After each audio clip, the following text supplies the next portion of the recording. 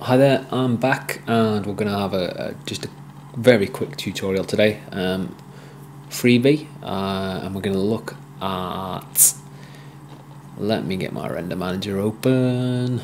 There we go, what we're going to have a look at is using emissive objects and radiosity to kind of get a glow. Uh, quite a lot of people want to do this where they're making things like um, neon lights, uh, lightsabers, eyes on robots, just little things like that, little on buttons, off buttons. Um, yeah, let's have a crack at it and it was dead easy.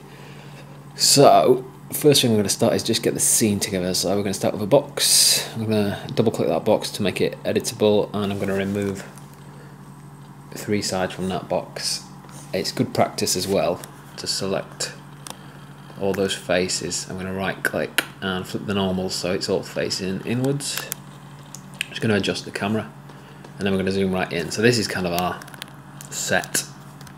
Uh, I'm just positioning the camera up, have it as you want it though. So that's our set done. Um, next thing we need is an object to have some glow on it. Um, I'm going to use a couple of these toruses which are absolutely massive, scale them down. There's one, it's probably far too small now. Not too bothered, it's not really a, a modelling tutorial this one. Uh, it's just just a bit of a quick tip for you. Hopefully you guys can put this to some good use and, and make something cool with it. Um, okay, let's have a go. So I'm gonna. That's it. I'm gonna make one of them. I'm gonna get the materials on, and then I'm gonna actually duplicate that up. So the material we need is it's a special and it's a solid colour. And the reason we use that one is because you can have the intensity on a solid colour higher than one. So let's have kind of a lime greeny colour. I'm going to crank. Yeah, no, I'm not going to crank that up yet. We'll leave that for now. So I'm going to put that on our torus. Um, now it's just a matter of getting things into position. I'll probably do this on the render, um, setting the camera up. So add a radiosity tag. Now if you follow my tutorials normally you know that I almost always use ambient occlusion. Today we're going to use radiosity. That's kind of it. From here on in we're just tweaking. Um, I'm not even going to save this file because it's so quick to do. So just doing a quick render. Ah, you know what I've forgotten. I always forget this. Turn the camera light off because we haven't got a light in the scene it's staying on even though radiosity is kind of lighting our scene in conjunction with this emissive material camera light off another test render okay starting to get somewhere now I can just see that we're getting a little bit of light from that probably you won't be able to see it on the uh, YouTube clip but let's just make sure we're all happy there. Okay, I'm going to crank up the intensity now on this emissive material to 3. I'm going to push this closer to a wall or a floor just so I can see what effect it's actually having on its surroundings. Because if it's right in the middle obviously it's going to have to have more influence to affect walls and things like that. So push it right down. To be honest our box is way too far down. Let's bring it up so our floor's somewhere near the torus, nearly got a tube then. There we go. Okay, zoom back in now. Let's push that back a little bit. Let's get that on a render. And look at that. Whoa. Um, what you see there is the blotchy mess that is radiosity, and it can be a bit of a beast to control. I think the intensity is too high on the uh, solid colour first, so I'm going to put that down to 1.5. Again, it's just trial and error really. Um, hit the render button again. Okay, so it's still probably too much. I think we can come right back down to 1 on the solid colour.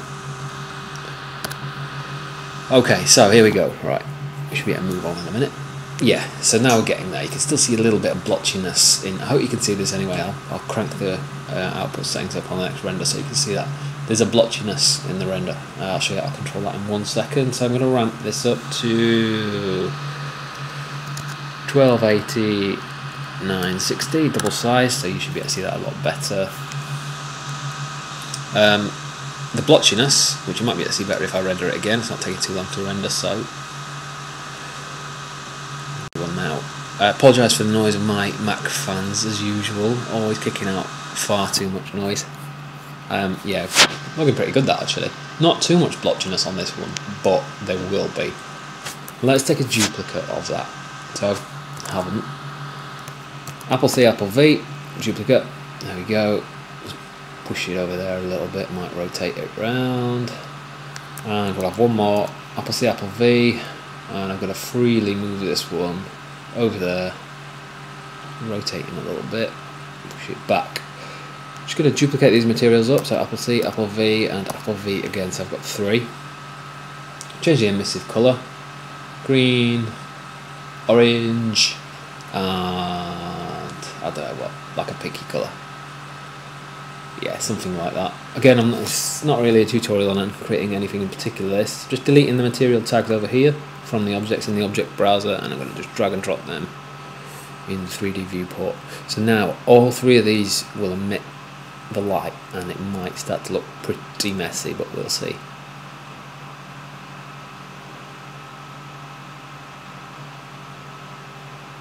Not too bad actually. Um, so you can see how this these toruses are, are emitting the colours and as you move them around, scale them, you get different balances on that. Obviously you can change the intensity on each material so it's not quite as much. Just messing about here, no real reason. Um, if you find that your renders are blotchy, like I mentioned before, I was hoping this one might come out a little bit blotchy, but it isn't doing. Um, I suppose it is a little bit, you might not be able to see it again. If your renders are coming out blotchy using this method, come into your radiosity tag and crank up these samples, and you could end up very high on these. It does add to render time. I'm going to boost these samples up to 1200 hit another render. I mean, we were only on 9 seconds on the last one, so I could afford to crank them up a bit.